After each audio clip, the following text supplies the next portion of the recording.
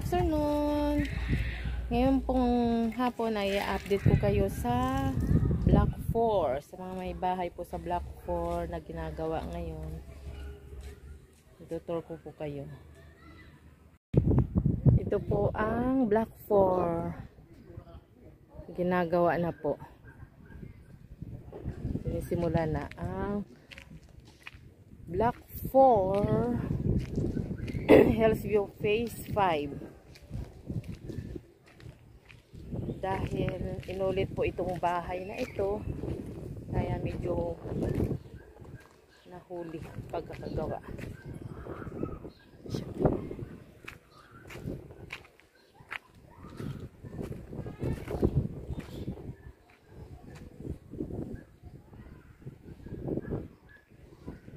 Tingnan natin ang loob.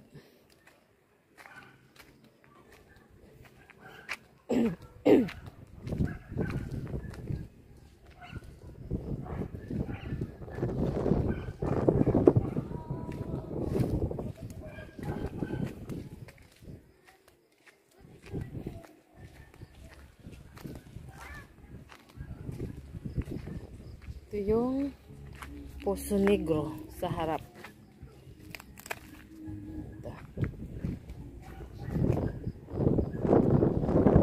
Sa loob.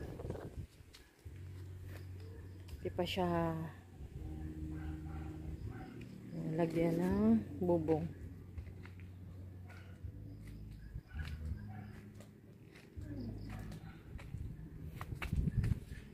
Yan ang magiging CR niya.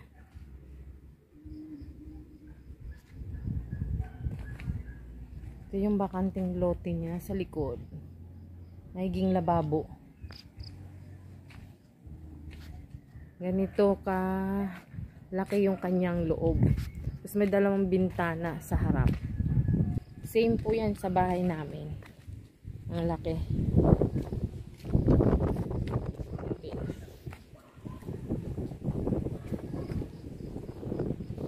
Kaya sa may mga bahay dito na nag-aantay na magkaroon na ng sariling bahay, ito na po ang update sa Block 4.